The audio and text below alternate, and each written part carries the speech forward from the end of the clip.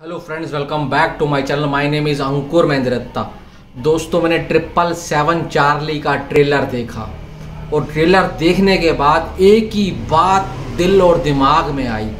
Truly emotional and unconditional love यार this is movie we want ये इसको कहते हैं मूवी बहुत प्यारी मूवी बनाई है, बहुत प्यारा ट्रेलर काटा है यार। जितनी बार आप देख लो, उतनी बार आप रोगे एक ऐसा इंसान जिसकी ज़िंदगी में कोई नहीं है। सिर्फ़ खाता है इडली, सोता है, फैक्ट्री जाता है बियर पीता है, अगले दिन सेम सेम चीज़ सेम रिपीट फिर उसकी ज़िंदगी में आता है चार्ली और चार्ली के आने के बाद पहले तो यार उसकी ज़िंदगी और ज़्यादा उथल पुथल हो जाती है।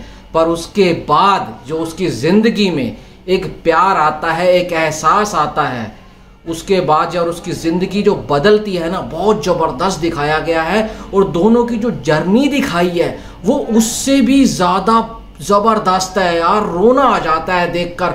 और एक यार तारीफ़ करनी होगी कन्नडा इंडस्ट्री की।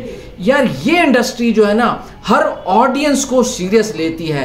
एक ही दिन में सारी लैंग्वेज में इन्होंने ट्रेलर निकाल दिए।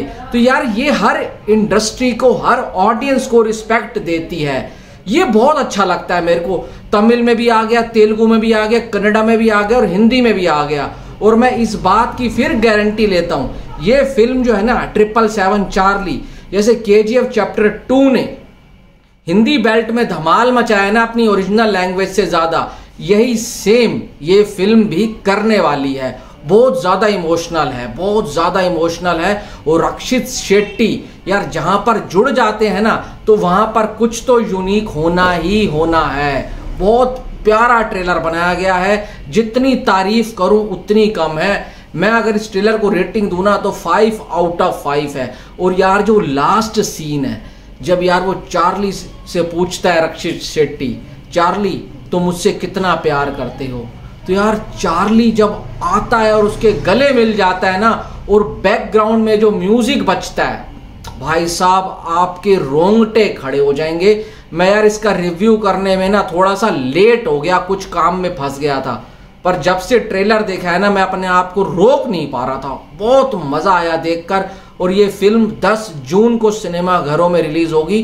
पैन इंडिया फ़िल्म होने वाली है। मेरी आप सबसे हाथ जोड़ के रिक्वेस्ट है। इस फ़िल्म को जितना सपोर्ट कर सकते हो करो, क्योंकि यार इसमें आपको ये भी दिखाया गया है, एक जो डॉगी होता है, कुत्ता होता है ना, इनका अनकंडीशनल लव होता है, ये आपसे सच्चा प्यार करते हैं। वो जो यार एंबुलेंस वाला सीन है, उसमें जो पीछे भागता है, और उसको ये नहीं, उसको पता है ये पहले मुझे मारने आ रहा होता है, फिर वो अचानक से गिर जाता है, और वो पीछे भागता है। भाई, वो सीन आपको रुला देगा जब हॉस्पिटल में वो झड़पड़ा रहा होता है, डॉगी, चार्ली।